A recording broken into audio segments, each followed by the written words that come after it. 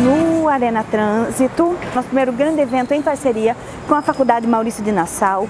Conseguimos, com o apoio da Secretaria de Educação, trazer mais de 600 alunos da rede estadual. Eu estou aqui para apresentar um evento para essa garotada massa. Eu queria que o recado vocês dessem com tranquilidade aos pais, a seu amigo, a seu irmão, a quem conduz motocicleta, a quem entra no carro para levar vocês para a escola. Eu queria que qualquer criança aqui dissesse, pai, não coloque esse celular enquanto o senhor está dirigindo, deixe para atender isso em casa ou pare.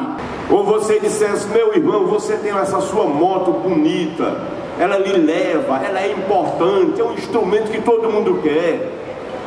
Agora use o capacete. E se você der uma carona, use o capacete. Quando o carona usar o capacete. Uma faixa de pedestre.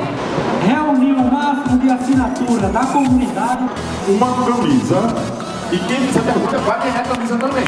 A, a o artigo 140 do Código de Trânsito. Agradecer também ao Detran e ao Uninasal pela parceria, o pessoal da Lei Seca.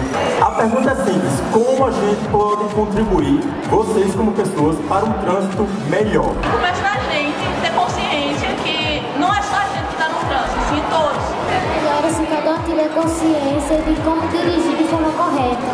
A cada 10 ocorrências, nós no SAMU, acho que 7 são mortos. E 80% eles não são habilitados. E o que a gente pode contar é com a ajuda de vocês, não permitindo que os pais, irmãos de vocês dirijam sobre efeito de álcool.